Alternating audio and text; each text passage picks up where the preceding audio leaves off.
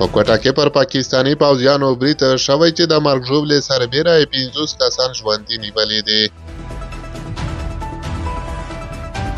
سلام ستړي مشئ پام وکړئ د ایران ټي وي یوټیوب چینل څخه تازه او مهم خبر ته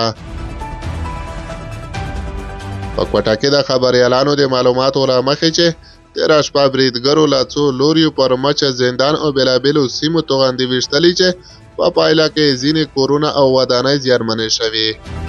د بریدګرو او پاکستاني امنیتي ځواکونو ترمنځ سختې نښتې شوې او د ښار له ټولو برخو پولیس دغې سیمې ته ورغوښتل شوي دي.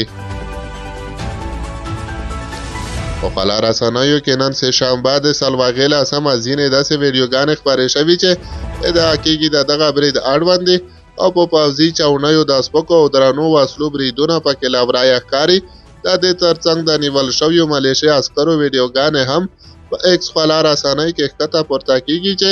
ګواکي په دغه جګړه کې یرغمل نیول شوي دي. د بلوچستان په مرکزي کوټه کې خبریالان وايي چې له تېرې شپې راهیسې په دغه ښار کې بیړنی حالت رامنځته شوی دی د دوی په خبره چې حکومت د شپې په ټولو ځايي روغتونونو کې د بېړني حالت اعلان کړی او دوی یې چمتو کړي دي. ځايي سرچینې وايي چې د تېرې شپې له بریدونو را وروسته په سیمه کې د برېښنا او انټرنېټ لیکې پرې شوي دي او له کوره په وتو او تګ راتګ بندیز لګېدلی دی. د تېرې شپې له بریدونو وروسته بلوڅ بېلتونپالو ته په منسوب غږیز پیغامونو کې د سیمې خلکو ته ویل شوي چې له کورونو نه ونوځي او د کوټې لوري ته له تګ راتګ ډډه وکړي. له همدا دغه بریدونو د سر او مال زیانونو په اړه خپلواکو سرچینو څه نه دي ویلي، یوازې بېلتون پاله ډله او د پاکستان حکومت یو او بل ته د زیانونو د وراوښتو ادعاوې کوي. تر اوسه پورې دا نه ده معلومه چې جګړه درېدلې که لا هم روانه ده خو د بلوچستان چارواکو ویلي چې د جګړې په سیمه کې په وسله والو پسې د پلټنې عملیات روان دي.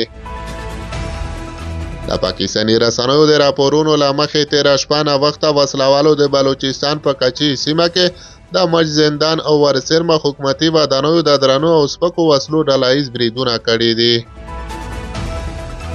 ویل کېږي چې په دغه جګړه کې توغندي هم کارول شوي او جګړه تر سهاره پورې غځېدلې ده چې د سر او مال زیانونه پکې اوښتي دي. د دغو بریدونو پړه د بلوڅ بېلتونپالې وسله والې ډلې منلې او دعوا یې کړې چې نږدې پنځوس پاکستاني پوځیان، پولیس او د ملیشا عسکر یې وژلي او ځینې هغه یې له ځان سره ژوندي بیولي دي. د بلوچستان بولان ولسوالۍ او مچه زندان دغه ایالت مرکزي کوټې ښار سویلي ختیځ ته په څلور شپېته کیلومترۍ کې پرته سیمه ده چې د تېرو دوه لسیزو یې امنیتي حالت خراب دی په ځایي ملیشو او حکومتي ودانیو ډېر کله بریدونه کېږي